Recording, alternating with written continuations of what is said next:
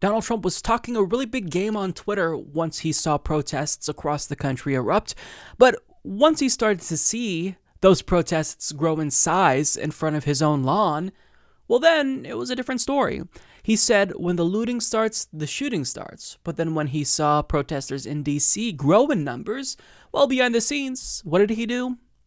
He wasn't talking so tough. We now know that he retreated to an underground bunker after he threatened protesters on Twitter. So he's all talk, but he's not so tough when he's actually confronted with the reality of injustice in America. Now, if he were actually a leader and wasn't a scared, pathetic coward, he would engage with the protesters, speak with them, try to understand why they're feeling pain, why they're protesting, and in some instances, rioting and looting. But he's a coward and he doesn't know how to lead. He doesn't know how to govern. All he knows is talk, which is why he talks a big game until shit gets real.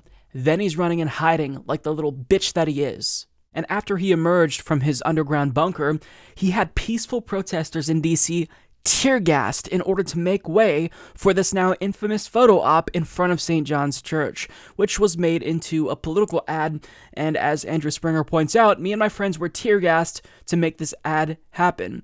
And if you're wondering who ordered that assault on peaceful protesters, it was Attorney General William Barr, who, let me remind you, is supposed to protect the constitutional rights of American citizens, including the First Amendment, freedom of speech. So he just brazenly violated the First Amendment, his duty to protect the Constitution. Also, Donald Trump could get a photo op. But let's be clear here about something. The reason why William Barr did that for Donald Trump, the reason why Donald Trump talks so frequently about dominating the protesters, is because he's terrified. He is terrified. The last thing that any leader around the world, it doesn't matter what country we're talking about, wants to see is uprising in their country. And especially if you are a dimwit with no previous experience governing and you don't know what to do, how to handle it, you're terrified because you don't know how to quell the protests. So the only thing that Donald Trump does is he gravitates towards his authoritarian instincts and he tries to get someone to crush these protesters for him. Now, in a leaked call with governors, we found out exactly how he feels, you know, the depths of his authoritarian instincts. And he definitely wants them to crush these protests because it's it's scaring him. It should scare any leader. Take a look, and then we'll analyze what he said when we come back. What happened in the state of Minnesota, they were uh, electric stuff all over the world. They took over the police department. The police were running down the street, sirens blazing, the rest of them running. It was on camera. And then they wiped out, you probably have to build a new one, but I've never seen anything like it, and, and the whole world was laughing. Two days, three days later, I spoke to the governor. The governor is, I think, on the he's the next one died. And all of a sudden, and I said, you got to use the National Guard to take numbers. They did it first, and they did. And I'll tell you that, I don't know what it was. It was, Governor, was the third night, fourth night. Those guys walked through that stuff like it was butter. They walked right through, and you haven't had any problems since. I mean, they know they're not going to go there now. They'll go to some other place. But once you called out and you dominated, you took the worst place and you made it. They didn't even cover it last night because there was so little action. Because you dominated. You dominated. But Tim, it showed the incredible difference between your great state yesterday and the day before compared to the first few days, which was just absolutely. No, didn't have a police force and take it over. And I don't blame you. I blame the mayor. I mean, I've never seen anything like it, where told to abandon the police house and it was ransacked and, and really destroyed. You know, millions and millions of dollars are going to have to go back to fix it. I don't know. You'll have to go to the public when you have left. If I'm still on, the one thing I would say, I did 24 years in the Guard. The one thing I would say that you can do is a lot of people don't understand what a National Guard is. And you need to get out there from a PR perspective and make sure that it's not seen as an occupying force, but if they're neighbors, school teachers, business owners, those types of things. That's a really effective method.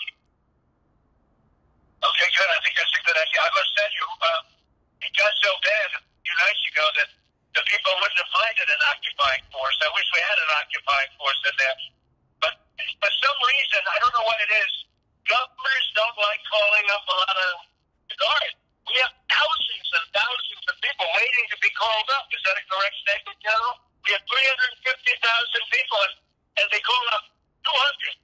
Gee, I just don't understand why governors might take issue with the United States military crushing protests across the country. And what we just heard should terrify everyone. I need you to understand that I am not being hyperbolic when I say that we are watching democracy slip away from us, and it's been happening gradually over the course of decades. But now, that decline into authoritarianism, that descent into a police state, has accelerated rapidly because of Donald Trump. Think about what he said here when a governor talked about the need to get ahead with regard to PR, so that way, you know, the National Guard isn't seen as some sort of occupying force, Donald Trump responded by saying, It got so bad, I don't think the people would have minded an occupying force. I wish we had an occupying force there. This is the President of the United States talking about an occupying force on American soil. Does that sound like he respects the Constitution? Does that sound like he respects the right of American citizens to assemble and voice their grievances with the U.S. government? He is an authoritarian. He wants to be a dictator.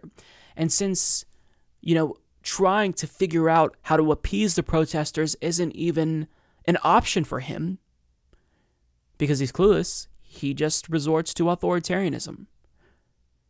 But he wants everyone else to do the dirty work for him. He wants governors to do it. He wants the National Guard to do it. And now he wants to use the military potentially against its own people.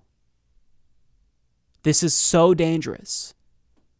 And when we look back at this point in time, if we're able to survive this moment and not devolve into full on authoritarianism, I think we're going to realize what a close call this was, but we don't necessarily know because the future hasn't been written yet. This could lead to authoritarianism. And the sad part is that a lot of people want that to happen because when you look at this poll, a lot of people are okay with the US military, quote unquote, supplementing police forces. So this is how democracy dies with thunderous applause. And think about the way that he talked about these protests. He kept using the word dominate. He says the National Guard walked through the crowds of protesters in Minneapolis like it was butter. This is violence. The United States government has officially become tyrannical. And I was told that conservatives are the ones who are watching out to make sure that our government doesn't become tyrannical but they're the ones doing the most bootlicking as our government becomes explicitly and openly hostile towards its own citizens. You have Republican lawmakers like Matt Gaetz talking about hunting down American citizens. This is outright chaos. Trump is fanning the flames, and you see, you know, a sort of tepid response from congressional Republicans trying to rein him in. But I mean, they're too afraid to challenge him because of, you know, how that might affect them politically. And Democrats, I don't know what they're doing. You see Nancy Pelosi posing for a photo op, urging him to try to, you know, uh, heal the country. There's just, he's unrestrained. This is why we have to worry about Donald Trump becoming a dictator, right? Or paving the way for a future dictator who's more calculating and smart and strategic, right? Because there's no check on his tyranny. There's no check. He stacked the federal judiciary, so he has the courts on his side. Republicans are too afraid to fight him, as are Democrats. So we're dealing with a situation where we are sliding into authoritarianism. The US government is being openly hostile towards its citizens. The president is instigating violence, threatening violence against citizens, literally threatening to use the United States military against its own people. And we're just going on about our business as if this is completely normal when it's not normal. So pay attention, because we are losing democracy before our very eyes. Beautiful, beautiful, I will eat your. Beautiful, gay, gay, beautiful. tremendous, tremendous, tremendous, tremendous, tremendous, tremendous, tremendous, tremendous, tremendous, tremendous, tremendous, tremendous, tremendous, tremendous, tremendous, tremendous.